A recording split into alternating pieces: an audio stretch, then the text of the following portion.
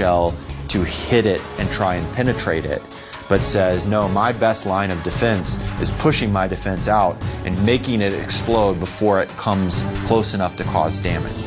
The initial solution is to add thick steel plates that protrude several inches from the vehicle's side.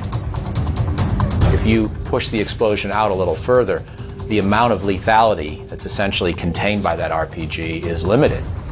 Although it proves effective, the add-on steel is an age-old solution with a predictable result. Not only are the steel plates cumbersome, they're heavy. So armor manufacturers work toward a more lightweight solution. And this is the unlikely answer. This is the Kevlar netting for our RPG defeat solution.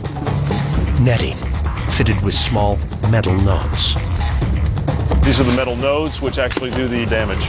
They're working on affixing these to the nets, and once they're on, we've got a full and complete net, and we pack it out to, to meet up with the rest of the kit. Which is a simple metal frame, and that's it. Imagine this wrapped all the way around the vehicle. An RPG will come driving in here, and it passes through the netting, and these nodes cut into the cone. It shorts out the fuse, defeats the bomb. It hits the side of the truck, but there's no explosion, meaning that everybody inside still can drive away. At least that's how the netting works during initial tests. When units are sent to the field and assembled around MRAPs, they do not instill much confidence in the soldiers who rely on them for protection.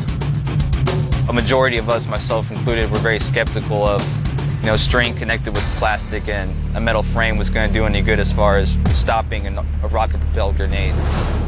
For Lieutenant Matthew Ward, the real test comes in Iraq, where he and his convoy are attacked as they deliver Iraqi election ballots to civilian headquarters. The trail vehicle sustained two direct hits from RPGs, uh, broadside hits. When Ward reaches the trail,